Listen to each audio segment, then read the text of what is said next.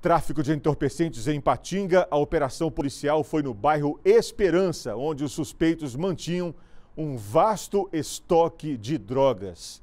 O repórter Miguel Braz, ao vivo, tem as informações dessa ocorrência policial de Patinga. Boa noite para você, Miguel. Boa noite, Saulo. Boa noite para todos que estão conosco pelo MG Record. Olha só, as prisões e apreensões ocorreram após a polícia militar ser informada do tráfico de drogas na rua Gerbera, no bairro Esperança, em Ipatinga. Os, os policiais militares foram para o local, monitoraram a residência e entraram no imóvel.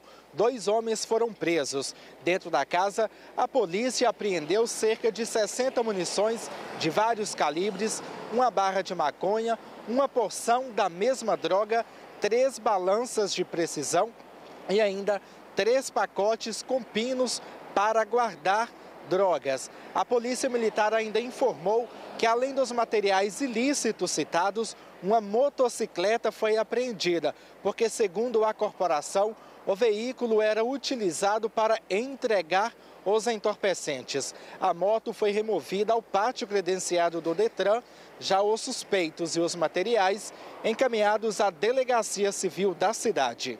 Saulo.